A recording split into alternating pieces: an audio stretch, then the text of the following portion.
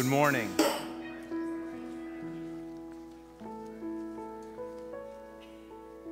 Ann, are we set?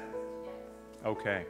Good morning and welcome to worship. We welcome those of you gathered here and those of you who are joining us from home. I think attendance is down a bit this morning because folks will be coming to the later service. Today's our church picnic. We also begin our fall worship series, Portraits of Christ, and today we consider Christ the Savior. We invite you, if you have a personal favorite portrait of Christ, to share it in the gathering space. If you're worshiping from home, we invite you to join us at any of our services at 8:15 on Sunday mornings at 9:30 for this our contemporary service and at 10:45 for our traditional service. We thank you for continuing to so support our food ministry partners in Burton and Bainbridge. You can drop food off at the cart out in front of the building. Uh, our Kids Life program kicks off this morning with uh, in person classes for our pre K through grade 5. Middle school is kicking off right now, and adult programming also. We also continue to collect, uh, receive contributions for the folks who have been impacted by Hurricane Ida and the recent flooding.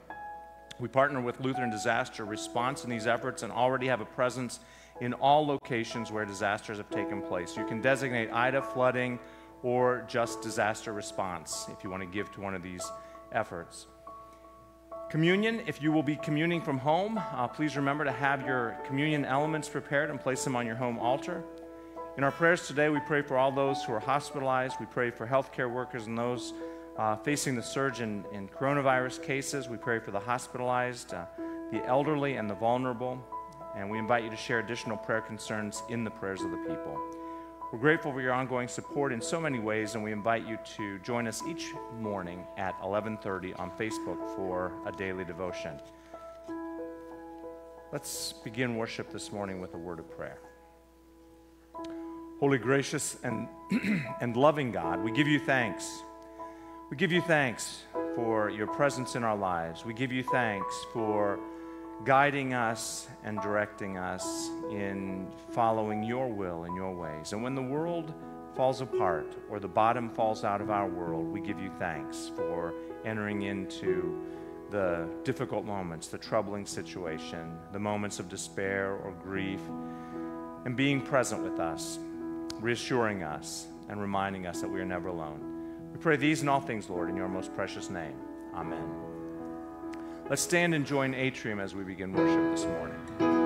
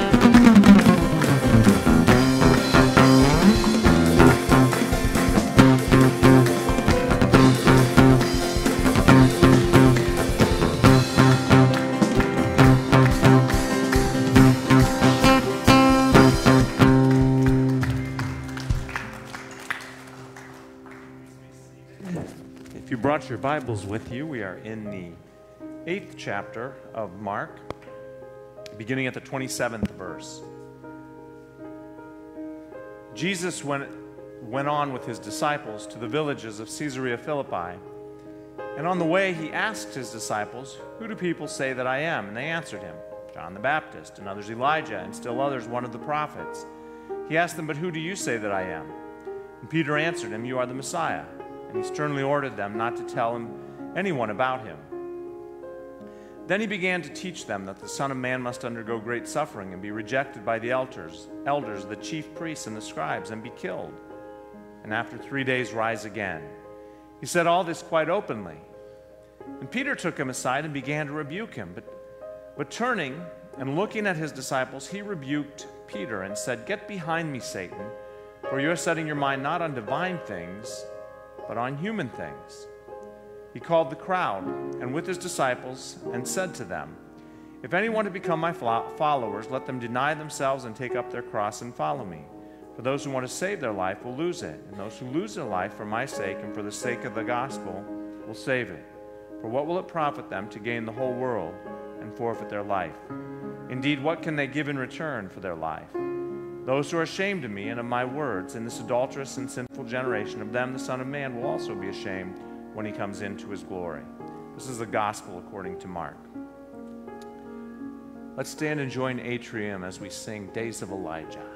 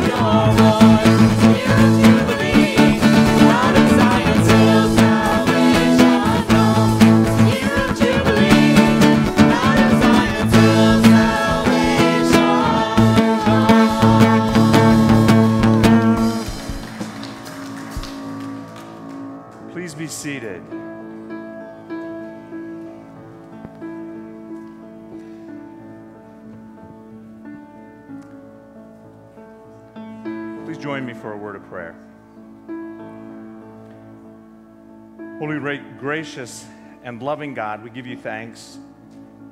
We give you thanks for the gift of your Son, our Savior, We give you thanks that when we're celebrating major, major highs in our lives, that you are there, just as we give you thanks that when the bottom falls out of our world, you are there too.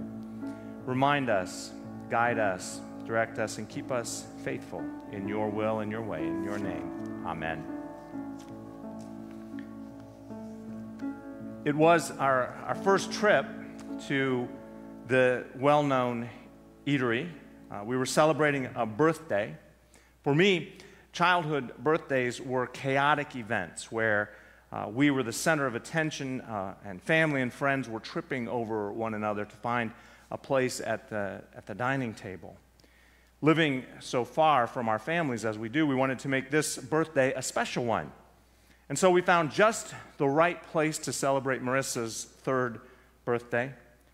Our favorite restaurant since arriving here was always reminding us, once the kids arrived, that they did not have high chairs. They're not so subtle way of saying we were not welcome when we brought the kids with us. And so instead, we went to Chuck E. Cheese. There would be no extra family present, but for those who have had the privilege of dining at this fine establishment, you know, establishment, you know that in addition to the cardboard like pizza, there's an arcade and an animatronics life size mouse who serenades you on your birthday, every three year old's dream. Our Corinne was in her infant seat, and Marissa loved the the atmosphere where she won tickets and ran between the token taking monstrosities. When we had our fill of celebrating, we headed home. And I still recall, as a parent of young children, when they would fall asleep on the way home, the pleasure of fitting them into their pajamas, tucking them in, and then watching them slumber for a few moments, maybe offering a prayer. The next morning, I was thinking of our outing as I drove here to the church, and I still recall the drive. The sky could not have been any bluer. It was a perfect morning. All was right with the world. The safety of my family, the security of our homeland was the furthest thing from my mind. We had just moved into this sanctuary a couple of months before. It was such an exciting time for our congregation and for my young family. An hour or so later, as I prepared for a Bible study, someone came in and said that a plane had hit the World Trade Center. And we scrambled to get the news and learned that by 9:30 all bridges and tunnels leading in and out of New York had been closed and that America was apparently under attack. In the span of less than an hour, I had gone from the feeling that everything was right with the world, that nothing could possibly go wrong, to this enormous pall being pulled over our universe. In moments like that, our need for the Savior was so clear. It was as clear as ever. No one knew what to do. Not knowing what to do, we threw open the doors of our, of our church, invited the other churches to join us and that evening, every seat in this place was filled. It was standing room only as we sang, O God, our help in ages past, our hope for years to come. It is still hard to fathom that 9 11 happened 20 years ago yesterday. 18 months into this global pandemic, it is still hard for me to fathom the far reaching tentacles of all that is happening. And in the years since 9 11, there have been countless moments around the globe where catastrophic change has visited the human population. In 2004, a tsunami hit Thailand. In 2006, Katrina. In 2008, the Great Recession. In the past several years, it seems like the West Coast has been on fire. In just the past few weeks, earthquakes, floods, hurricanes, Someone is sitting there saying, Pastor Rob, today's Welcome Back Sunday. Where are you taking us? Today we begin our, our Portraits of Christ series. And today we have the great exhortation of Peter in response to Jesus' question Who do you say that I am? Boldly, Peter says, You are the Messiah, the chosen of God, the Savior of the world. When Peter says this, what is on his mind is the understanding that Jesus is going to save him and all of Jesus' followers from just the sort of chaos that I have just described to you.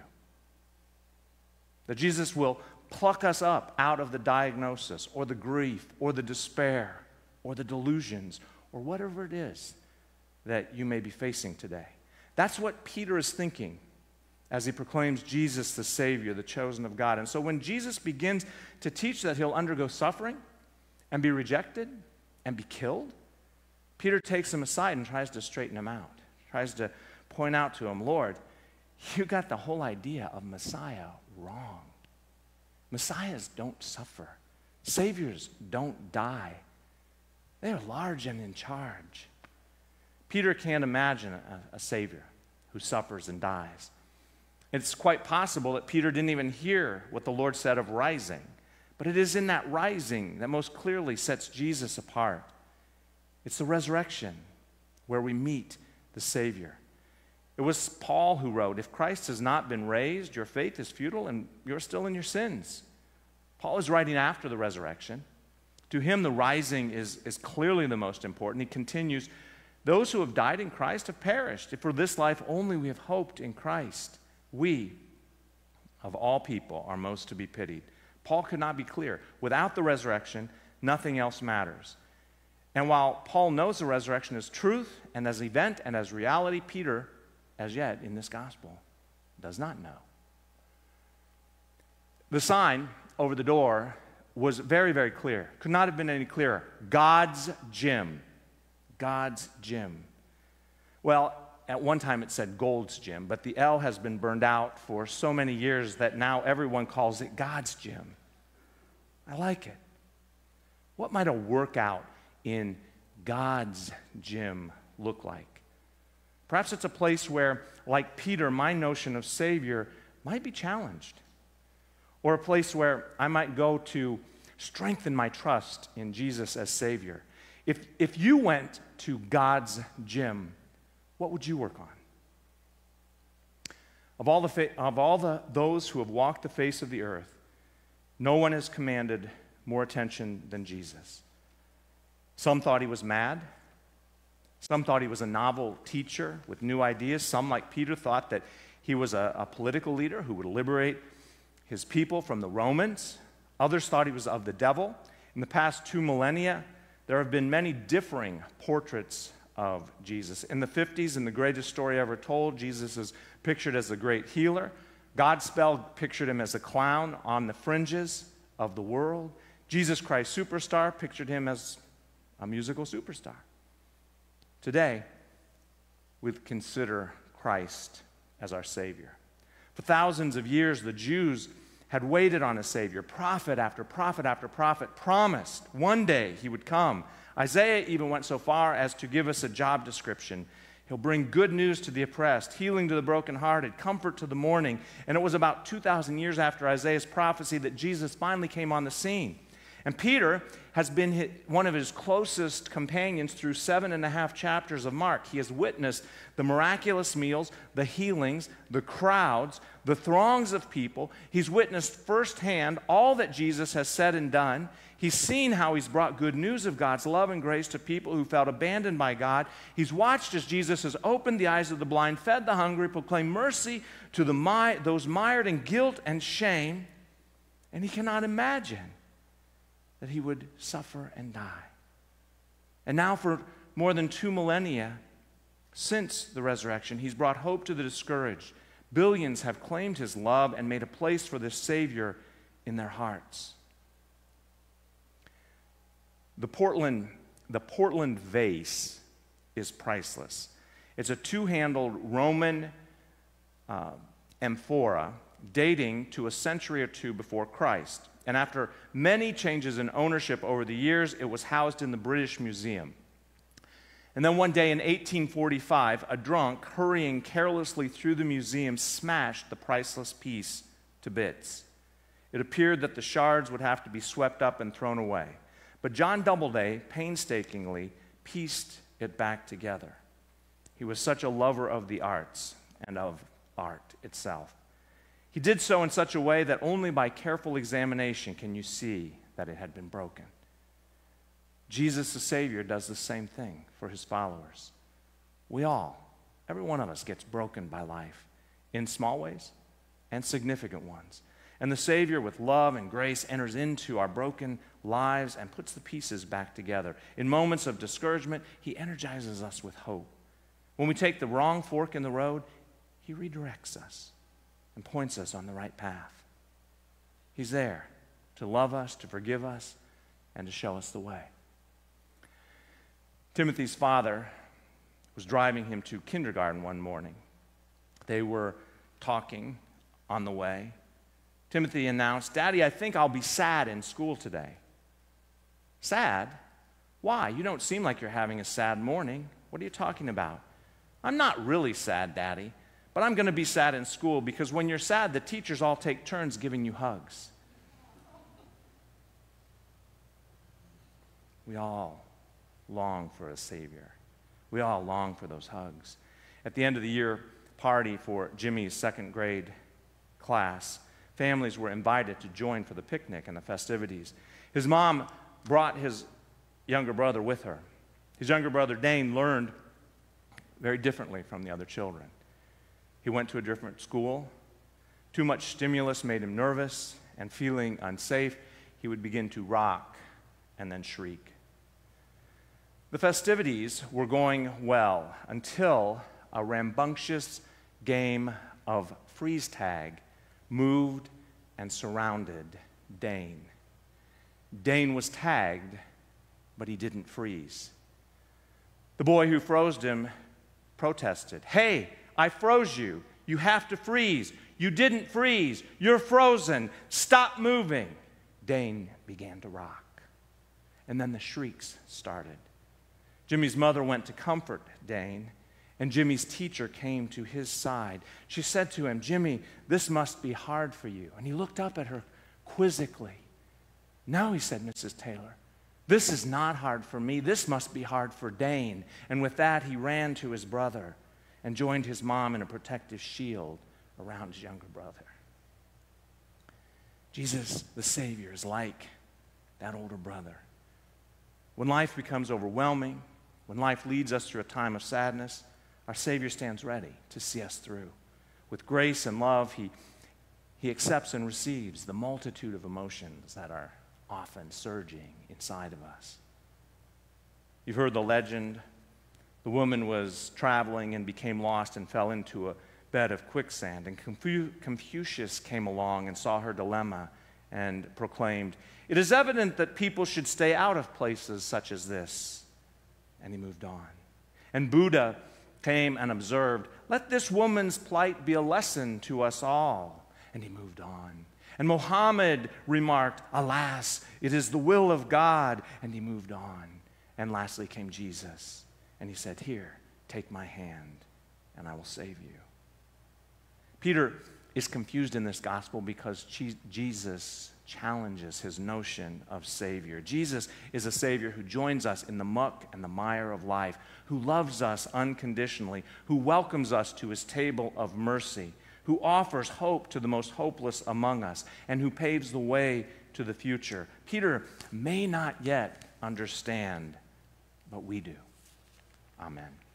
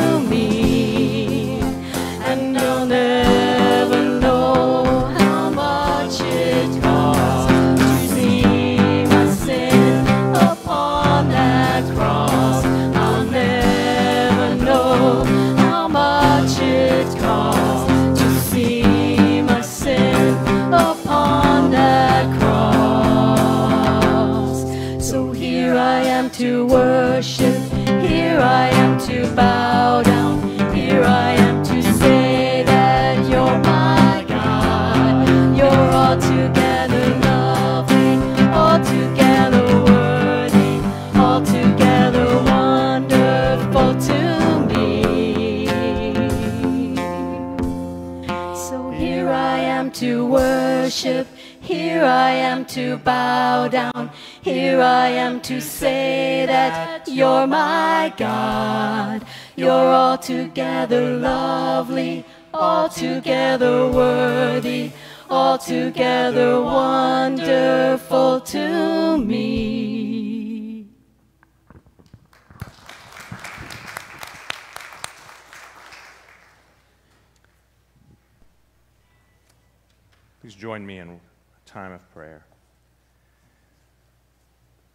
Loving and gracious God, we give you thanks for entering into the difficult moments of our lives. We pray for all those, all those families who were touched by tragedy 20 years ago and all those families who are touched by tragedy today.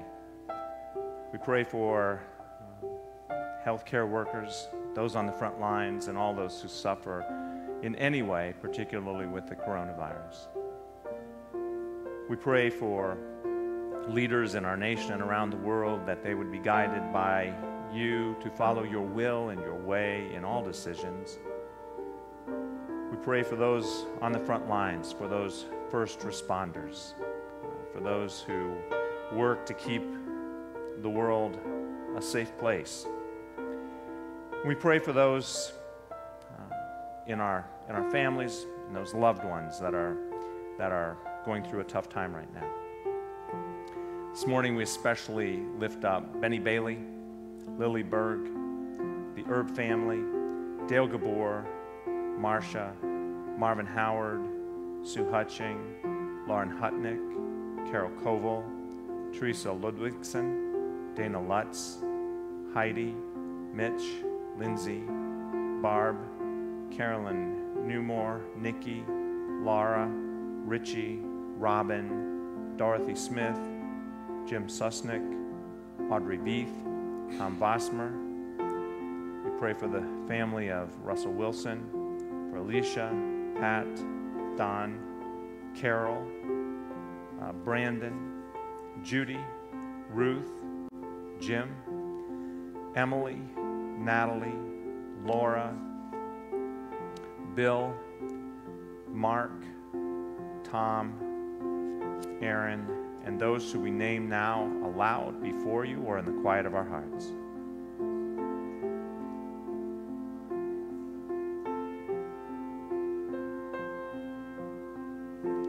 All these, Lord, and those things that we pray with sighs too deep for words, we pray them all in Jesus' most precious name. Amen.